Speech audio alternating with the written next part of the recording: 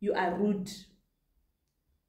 The world needs to tell you that you are rude. So now I'm just here to ask Lomlisa Guti, Kat, I'm just gonna. I, I'm Patrick is a bit formal. Patrick is, is, is, is, personal, but I'm just gonna call you Maketa Keta because th- that, that's the character that I fell in love with and I know. Kat, how do you feel when people are calling you to be rude? Because personally, when I read that comment as well, it came across, ooh, meow. I don't know why did I do that.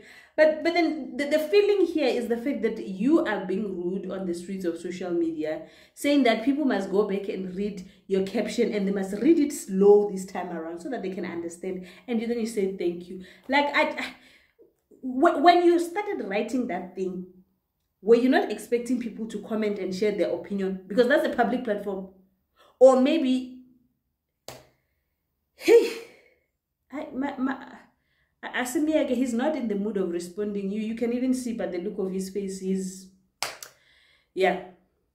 But anyway, I'm trying to talk to him, but you see the kind of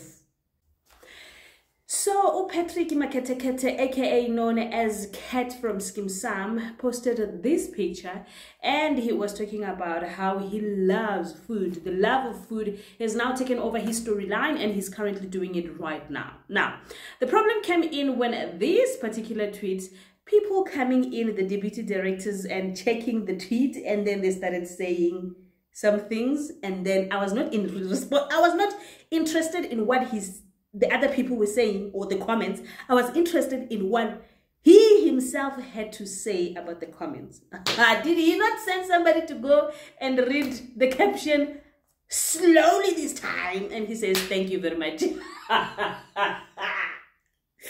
the other deputy directors that are not scared of things, they just went straight and told him, Joe, my vibe, do you have a hairline problem? Let me sort you out. Times are tough. You cannot afford to walk around without a hairline.